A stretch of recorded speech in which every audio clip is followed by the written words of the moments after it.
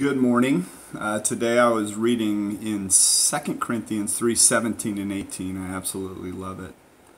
Now the Lord is the Spirit, and where the Spirit of the Lord is, there is freedom.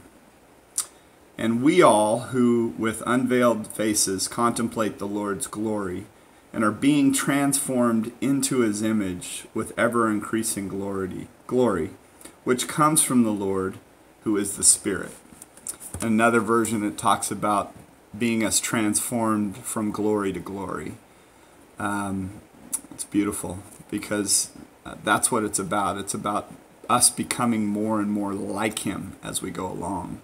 Be patient with yourself in your journey with God. I heard today, I was listening to Matt Chandler, and he was talking about how a lot of us know about God, but do we truly know Him? And that's what this thing's about. He, he's a pastor in Texas, and he used an example of a guy named James Smith. I love it because he's saying that there's such thing as impersonal knowledge, and then there's personal knowledge. And he, he says he starts reeling off about this guy James Smith. He says, you know, James is retired. He's got seven grandkids, three kids He's got a wife that he loves. He's been married to for 40 years. Um, he goes to the city to have high tea with his granddaughter. He has a labradoodle named Oliver, who um, who was wilding out. So he got Oliver fixed. Um, he's a conservative and starts naming off all this stuff. And then he then Matt Chandler says, "I don't know James at all, right?" Um, I went on my wife's Facebook and I looked up what's the most popular name, and James Smith came up for a man.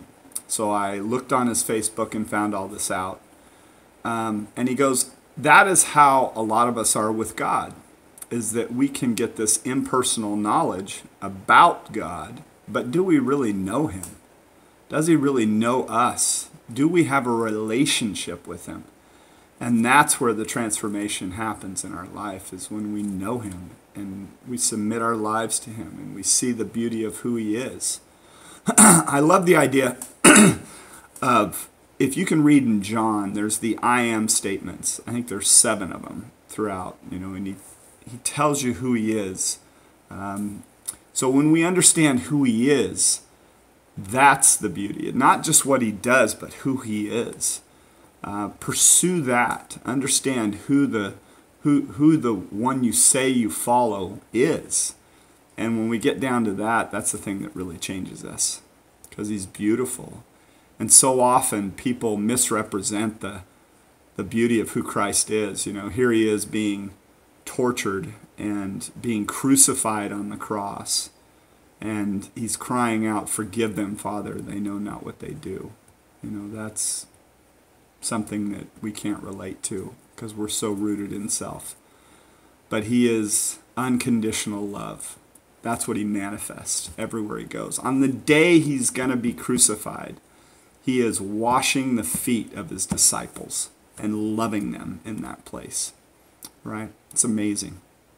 The unconditional love of God is the thing that's going to transform us and change us.